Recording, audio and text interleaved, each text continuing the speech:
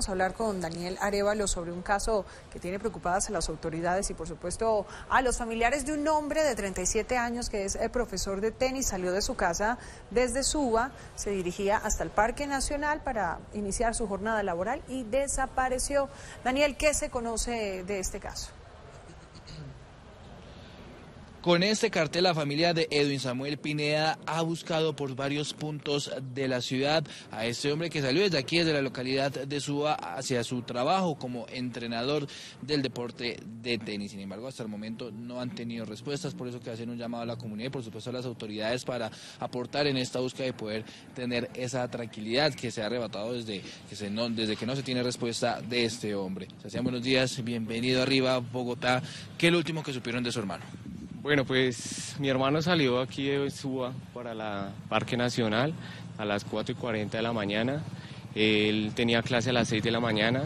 Eh, lo que sabemos es que, eh, por lo que pudimos rastrear del celular, eh, no llegó al trabajo a esa hora y pues se desvió y empezó a hacer una ruta toda extraña por, el Waze y no, no vemos con el paradero de él.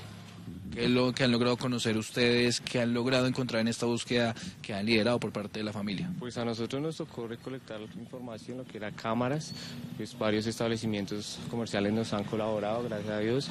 Hemos visto que él efectivamente sí pasa por el Parque Nacional, o sea, pues pasa por la séptima. Eh, no vemos que, pues, o sea, no sabemos si le echaron algo, es para que hiciera toda esa ruta extraña. Y pues la última foto que, vimos fue que en el Chico estaba ahí y pues todavía no tengo información, no sabemos nada, nada de él desde el domingo 23. ¿Cuál sería ese llamado a la, ciudadanía y a las autoridades referente a esta situación? No, pues si lo llegan a ver, pues estamos muy agradecidos que se comuniquen a la línea de atención. Igual toda la red de entrenadores, de amigos, vecinos nos están colaborando, que estamos muy, muy agradecidos con ellos.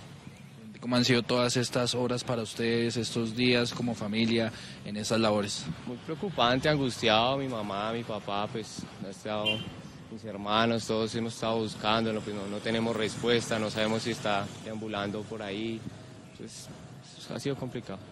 Muchas gracias. Estamos escuchando todo lo que ha tenido que pasar esta familia aquí en la localidad de Suba en busca de respuestas por el paradero de Edwin Samuel Pineda. Así que si tiene respuestas, ahí estamos viendo los números, que hay una familia, por supuesto, que lo está esperando. La información que registramos a esta hora en Arriba, Bogotá, que sí le responde a la ciudad. Suscríbete a nuestro canal de YouTube y entérate de las últimas noticias. Somos City TV